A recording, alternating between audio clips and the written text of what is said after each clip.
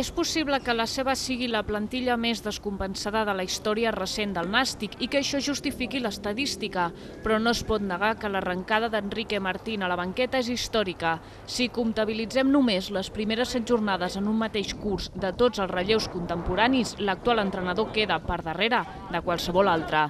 Des que els Grana van acomiadar Gordillo, només han sumat una victòria i un empat, amb un total de 4 punts de 21 possibles.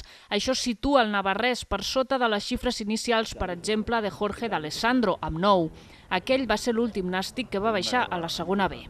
Per trobar un cas similar cal remuntar-se l'any de primera quan Paco Flores va començar exactament igual. Ara bé, la latitud futbolística era completament diferent i és que aquella ratxa va tancar-se visitant el Camp Nou. Esto es muy es bastante largo, por lo tanto yo creo que este creo no, este es el camino y, y bueno, seguro que habrá partidos o habrá mmm, se, tiene que haber algún mes que ganemos dos y tres partidos seguidos, aunque en este momento eh, te pueda parecer una utopía, pero eh, también tenemos derecho a eso y vamos a pelear por eso.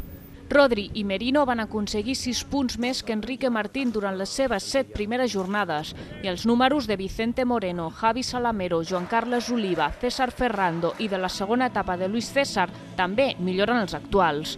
Queden dos partits abans del llestí el 2018, el primer d'ells al camp de l'Extremadura i el Nàstic es troba a 7 punts de la permanència.